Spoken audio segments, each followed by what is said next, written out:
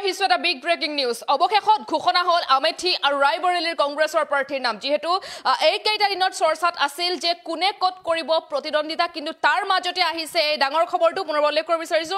আমি গ্ৰাফিক্স আগবঢ়াব বিচাৰিছো প্ৰথমতে অৱশেষত ঘোষণা হৈছে আমেথি আৰু ৰায়বৰেলীৰ কংগ্ৰেছৰ প্ৰাৰ্থী।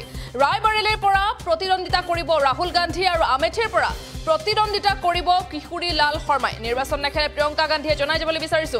প্ৰিয়ংকা গান্ধীয়ে নিৰ্বাচন নেখেলে আৰু সমষ্টি দুটাত বিছ মেত অনুষ্ঠিত হ'ব নিৰ্বাচন। ডাঙৰ খবৰ বুলি ক'ব লাগিব কিয়নো ঘোষণা হৈছে আমেথি আৰু ৰায়বৰেলীৰ কংগ্ৰেছৰ প্ৰাৰ্থী। ৰায়বৰেলীৰ পৰা প্ৰতিদ্বন্দ্বিতা কৰিব ৰাহুল গান্ধীয়ে। সমান্তৰালকৈ আমেথিৰ পৰা প্ৰতিদ্বন্দ্বিতা কৰিব কিশোৰী লাল শৰ্মাই।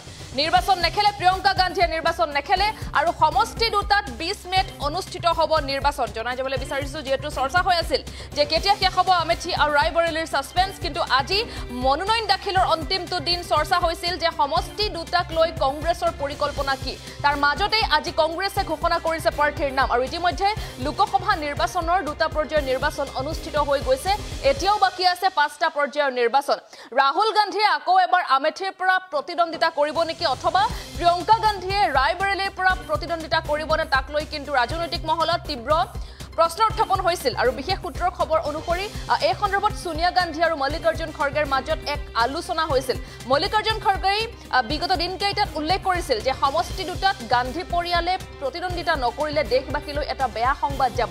আৰু এই ক্ষেত্ৰত ৰাহুল গান্ধীয়ে কৈছিল যে মই আমেথিৰ পৰাও প্ৰতিদ্বন্দ্বিতা কৰিম কিন্তু জয়ী হওঁ তেনেহ'লে ৱাইনাড নেহৰু বুলি মন্তব্য কৰিছিল। তাৰ মাজতেই কিন্তু আজিৰ দিনটোত ঘোষণা হৈছে আমেথি আৰু ৰায়বৰেলীৰ কংগ্ৰেছৰ প্ৰাৰ্থী। ৰায়বৰেলীৰ পৰা প্ৰতিদ্বন্দ্বিতা কৰিব ৰাহুল গান্ধীয়ে আৰু আমেথিৰ পৰা প্ৰতিদ্বন্দ্বিতা কৰিব কিশোৰী লাল শৰ্মাই। নিৰ্বাচন নেখেলে প্ৰিয়ংকা গান্ধীয়ে জনাই যাবলৈ বিচাৰিছো সমষ্টি দুটাত বিছ মেত অনুষ্ঠিত হ'ব নিৰ্বাচন।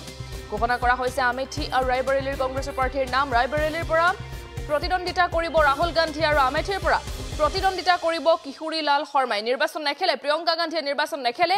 সমষ্টি দুটাত বিছ মেত অনুষ্ঠিত হ'ব নিৰ্বাচন যিহেতু লোকসভা নিৰ্বাচনৰ প্ৰথম আৰু দ্বিতীয় পৰ্যায়ৰ নিৰ্বাচন অনুষ্ঠিত হৈ গৈছে।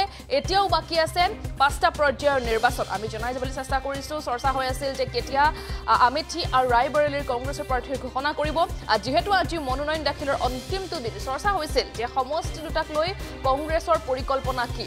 তাৰ মাজতেই আজিৰ দিনটোত কংগ্ৰেছে ঘোষণা কৰিছে প্ৰাৰ্থীৰ নাম। আমি জনাই যাবলৈ বিচাৰিছোঁ। সমান্তৰালকৈ ৰায়বৰেলীৰ পৰা প্ৰতিদ্বন্দ্বিতা কৰিব ৰাহুল গান্ধী আৰু আমেথিৰ পৰা প্ৰতিদ্বন্দ্বিতা কৰিব কিশোৰী লাল শৰ্মাই নিৰ্বাচন নেখেলে প্ৰিয়ংকা গান্ধীয়ে। সমষ্টি দুটাত বিছ মেত অনুষ্ঠিত হ'ব নিৰ্বাচন।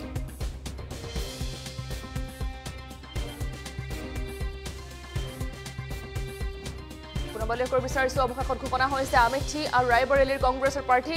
ৰায়বৰেলীৰ পৰা প্ৰতিদ্বন্দ্বিতা কৰিব ৰাহুল গান্ধীয়ে।